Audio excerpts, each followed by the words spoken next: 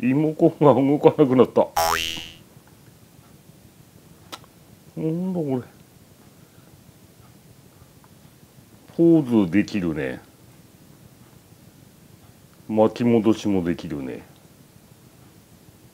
ストップもできるね。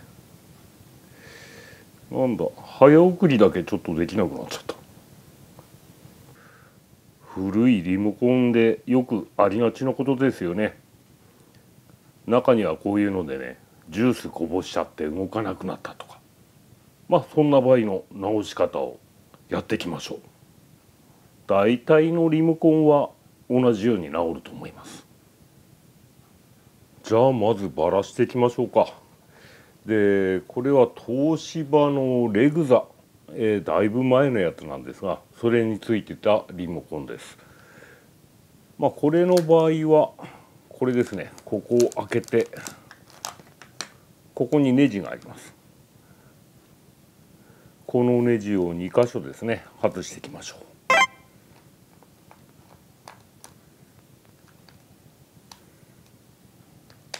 う。はいこういうふうにネジが外れました。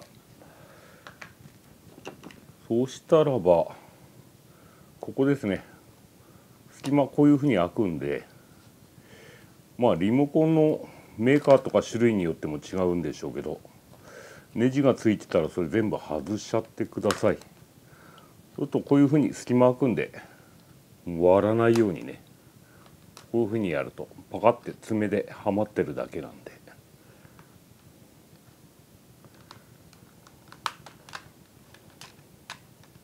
よいしょ。でこのスイッチはなくさないように。はいこれで OK ですね。まあこの基板とまあ中にこういうゴムのなんていうんですかスイッチが入ってます。これですね。でジュースこぼしちゃったりするとここのこういうところですね。これゴムなんですがここ金属に金属のか磁石かなんかかな。そういうのは湿布してあります。それでこの基板のこことくっついてまあそれがスイッチになるわけですねトリガーになってまあ再生したりとか早送りしたりとかなのであ電池取るの忘れてた電池取るとこういうふうに基板取れますんでねなのでジュースとかこぼしちゃった場合はここに液体がついてるはずですからきれいに拭き取ってください。まあ普通の水でいいと思いますよ。固く絞ったタオルかなんかでね拭き取ってやります。でこっち側は完全にゴムなんで水洗いしちゃってもいいです。水洗いしてきれいに乾かしてください。実はこれ今回このやつはね早送りの部分。どうもここの磁性体っていうのかな。それがね剥がれてダメになってるみたいなんですよ。なんでねちょっとここをまあ改造したいと思います。はいそれで今回使うのはこれ、えー、これ銅テープなんですね。で普通のご家庭じゃないかもしれないんですが。でね調べたらこの銅テープダイソーでも売ってるみたいです。これはねステンドグラスに使うやつ。で私ステンドグラスもね以前作ってたんでたまたまこれがあったんでこれを使います。まあ、これの場合は早送りのボタンのところですね。これの裏側の何て言うんですかね電気を通すはずのまあ何が湿布してあるんだか分かんないんですがそれが剥がれちゃってるみたいなんですよね。なのでここにこの銅テープを貼り付けてまあくっつければ電気が通るんでそれでスイッチが入るはずなんですね。それでやってみたいと思います。じゃあまずはこれ。これと同じ長さに。ちょうどねたまたま幅が合うんで。これ5ミリぐらいなのかな。ここの長さにこれを切り飛ばしてやります。こんなもんかな。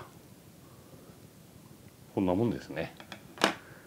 したらあとはねこれをこれ裏側テープになってるんでね。そしたらこれをね、えー、ダメだった早送りのところここですね。ここに貼り付けていきます。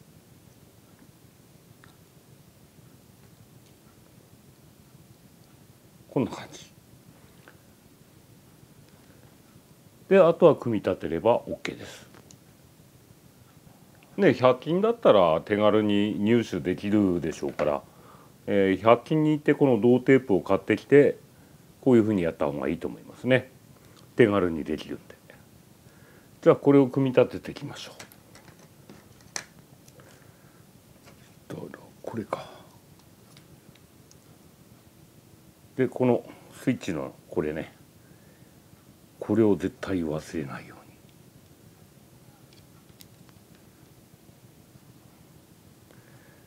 したらここに合わせます。よしこれで合うかな。うんこれで大丈夫ですね。そしたらあとはこれをかぶせるだけ。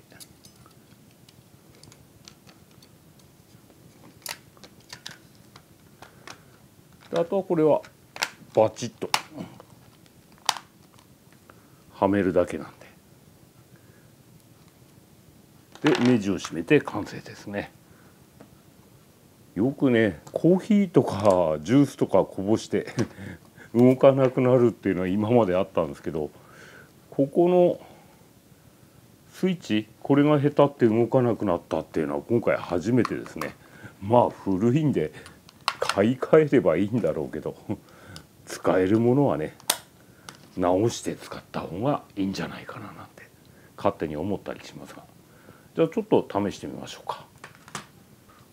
はいじゃあこれで直ってるはずです、えー、著作権の関係で画面はぼかして音は流してません、えー、それじゃあほい。お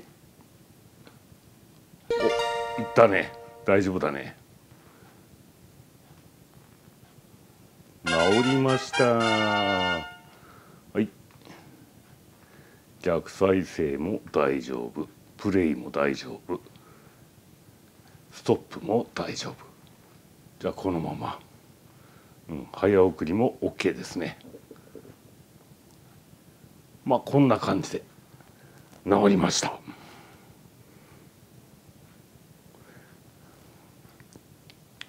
まあ皆さんもねまあこういう機会があるかどうかは分かりませんがドライバー一つで治っちゃいますんでジュースとか飲み物をこぼしてしまった時は水洗いと水拭きで私のようにこのスイッチがねもう本当に下手ってダメになった場合はダイソーで銅テープがありますんでそれを買ってきてこのようにくっつけてみてください。またこれでしばらく使えるようになりましたではまたていうか新しいの変えよって話だな。